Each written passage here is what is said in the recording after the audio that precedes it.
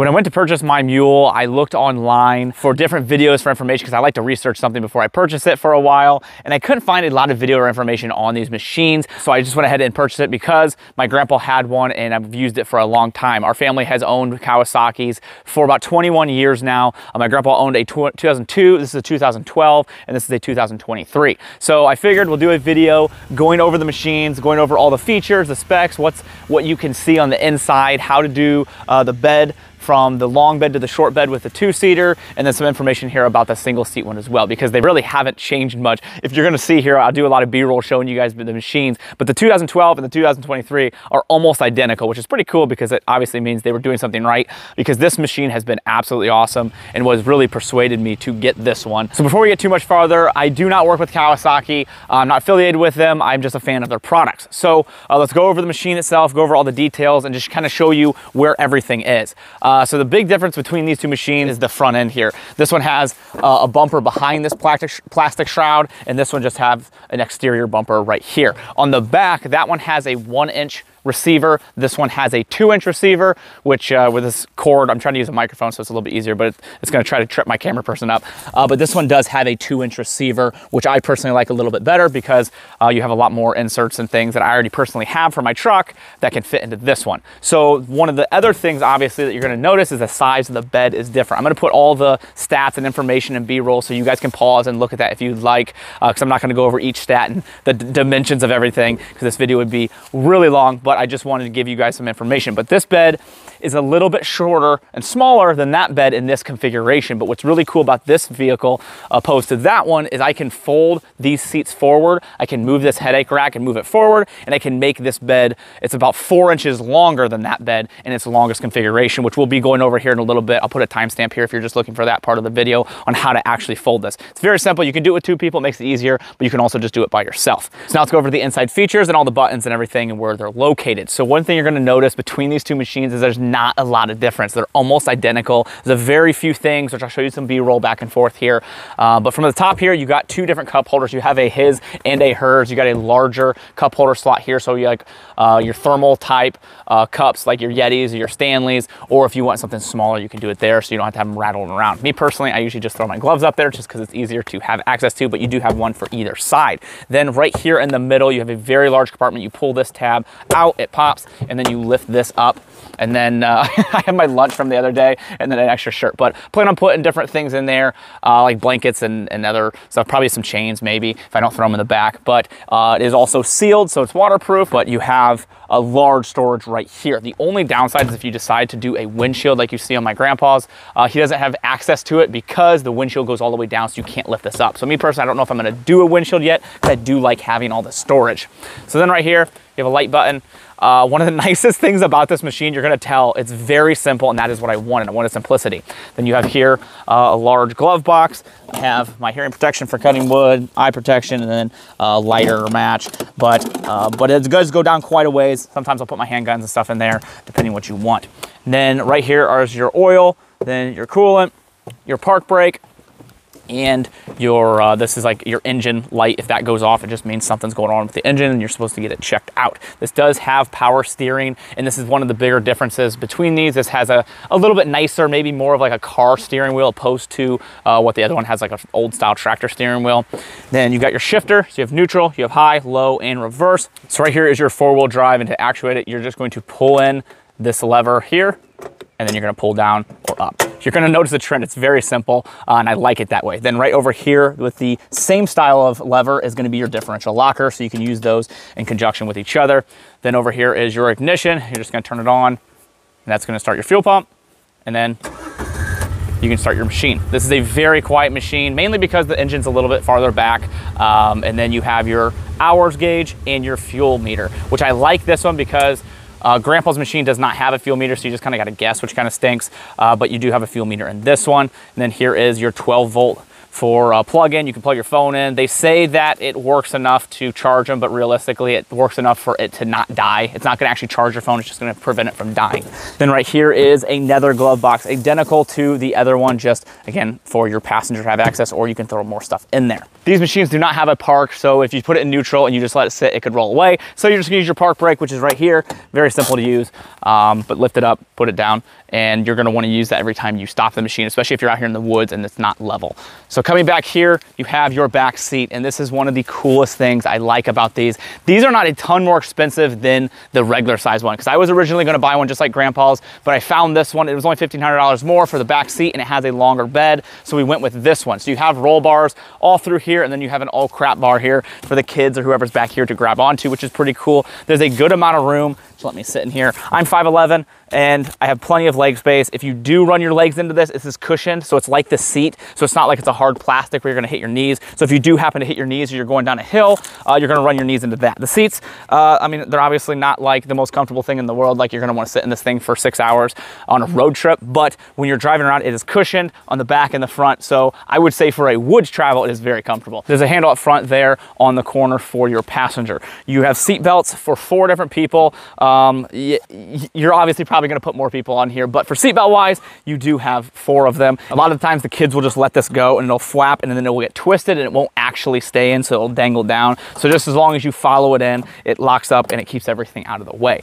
Now going along with seatbelts, if you do not have the front driver's seat seatbelt plugged in, this will only go six miles per hour. And I'm really glad they mentioned that to me because I probably wasn't gonna wear the seatbelt to be honest. And I would have been really frustrated if I was gonna be trying to do stuff here at the property and I was only going six miles per hour. So whether you put that on or you just put it on behind you, just make sure uh, you do clip that in and it will unlock the ability to drive then 25 miles per hour, which is the max speed of these. It's actually kind of a benefit in my mind because I have young children. Eventually they're gonna drive on these machines and they're gonna take them around the woods. And personally, I kind of want them to do six miles per hour. So if I don't want them to, I just don't uh, plug that seatbelt in and then I can make them go a lot slower and know that they're not gonna be Bajan, which honestly with this machine, 25 miles per hour isn't that fast. And that's kind of the goal with this. I didn't want a RZR or something really quick or a T-Rex that's gonna fly all over the place. Um, eventually, I will probably eventually get one of those because it is a cool thing. But for what we were doing here and with the kids, this is the perfect machine for us. So now let's go over how to switch this from the four seater to the small bed to the two seater with a uh, longer bed.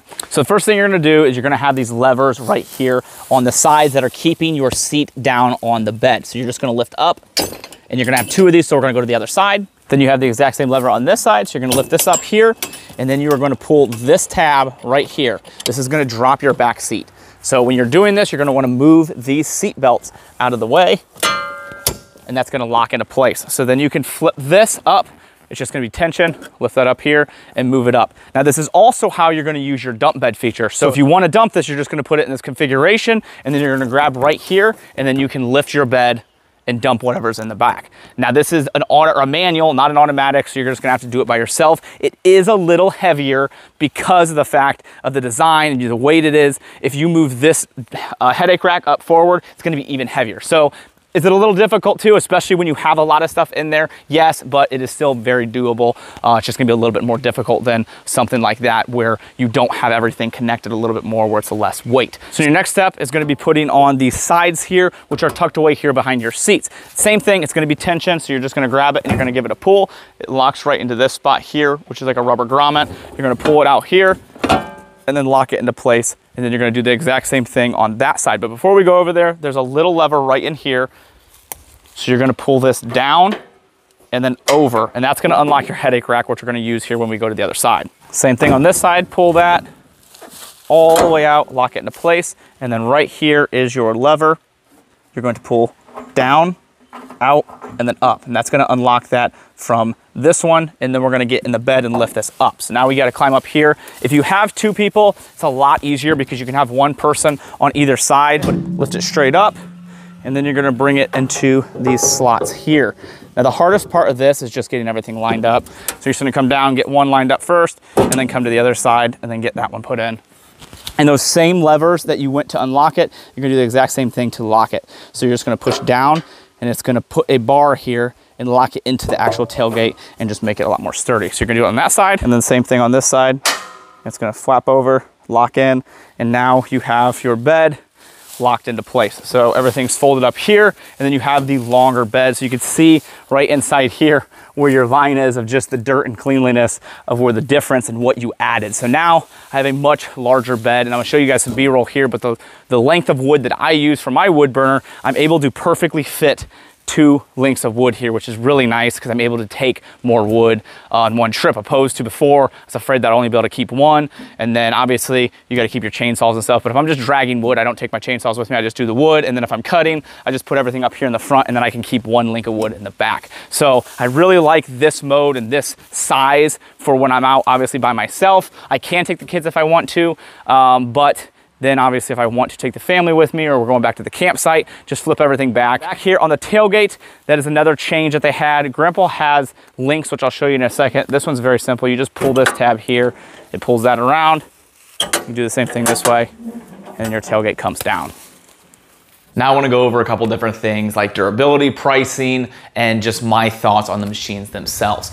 I'm gonna be sharing a lot of B-roll while I'm talking here about the durability and the pricing and everything, because I think it's important to show how we actually use the machines, how much they can take, how much they can handle, um, being a utility vehicle, especially this style where it's more of a basic machine, really built for work. Uh, I really wanted to show how much they can actually do, uh, just to give you an idea of, okay, this is what I, my plans for this machine, can it actually do it? So hopefully this video is able to help you make a better decision if this is a machine for you or if you need to look for something else. So durability wise, like I said, my grandpa's had one since 2002 and 2012. This uh, 2012 unit that he has been using is in a lot of the B-roll because that is what we ended up using to clear clear uh, our property to build our house. There seems to be three different styles of people that want to buy a vehicle like this. There's those people that want to drive around town and go to like the ice cream shop or just drive around and be able to get to places and not have to drive their vehicle. Uh, there's people that just want to do light yard work, you know, work in the gardens or in the yard and move dirt around and haul things. And then there's people that just want to uh, use a lot more heavy work, maybe construction site or hauling and dragging trees. And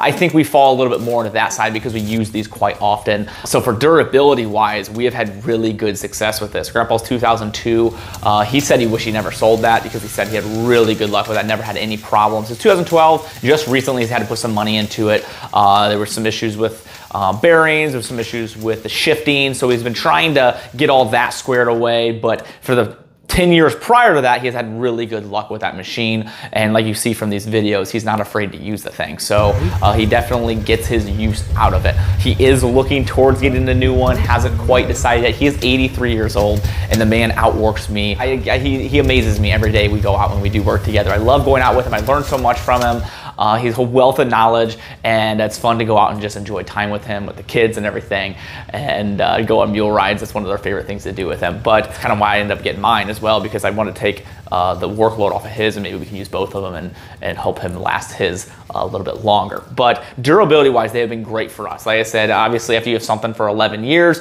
you're to have to eventually put some maintenance into it, and I'm hoping mine has the same success. But for us personally, durability wise, they have been very strong machines. Now for pricing. So if you're to go with the size of Grandpa's, it's to be 11.5. That was the one I was originally to go with until I decided to go with the other one that is now uh, the four seater, which is a 12.8 price tag. Now, if you go with different features or if you go with different paint, it does go higher than that. Uh, the camel one was a little more expensive, which I really didn't care about the paint job. I technically wanted the other one, but when they went to order it, they said that uh, it could take a while for one to come in just because of uh, availability. So I ended up, uh, they were actually really nice and worked a deal with me and dropped that price down from the paint. The extra cost for the paint really didn't cost me much. So uh, I ended up getting the camo one just because it was available at the store. But you're looking at 12.8, so you're looking at about a $1,300 difference for the four-seater. And for us, it was a no-brainer because of with the kids, just makes sense. It's easy to switch back and forth if you want to, and you have the longer bed. There are a ton of other options on their website as well. So if the Mule doesn't seem like the one for you, they have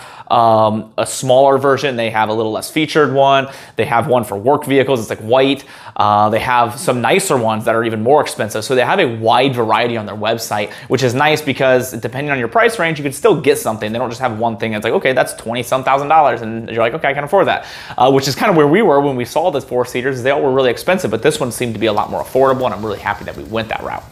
So I hope this encompasses pretty much everything that you wanted to know. I tried to put uh, at least an overview, let you see all the features, kind of show some different things and my experience at least and what I've been able to use with this machine. I will do updated videos like my three month thoughts and then maybe like a year thoughts down the road just to give you guys updates on how the machine's working. Uh, but I just saw a lack of videos and I wanted to get something out there that showed kind of everything uh, that maybe a new buyer would want to know. At least for me, when I was looking for a video, I really would have liked a video kind of like this just so I could have made a better purchase decision and been like, okay, no, this is exactly what we want. Or maybe uh, been able to have at least a little more knowledge in my mind going into it. So as you can tell, I kind of like firearms. I have a vault room here that I'm in doing my filming. Uh, this is a little bit different than my normal content if you're not used to the channel. Um, if you're a normal viewer, then uh, kind of taking a little bit of a step in a different direction. I plan on doing more content like this with the wood burner, homesteady type stuff, here with the mule, cutting trees.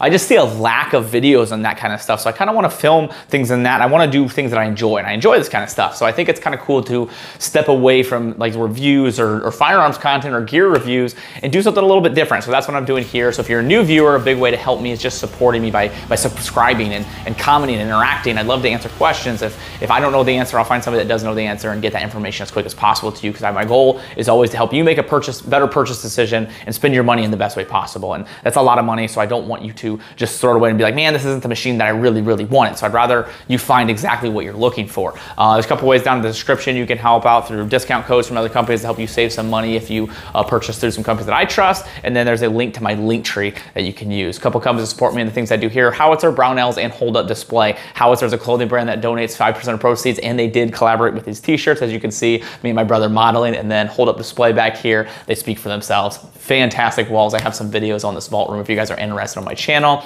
And then Brownells, you can use code TA10 to save 10% off orders, $150 or more. And definitely take advantage of that because you can save a lot of money. Other than that, I appreciate you all. Thank you so much.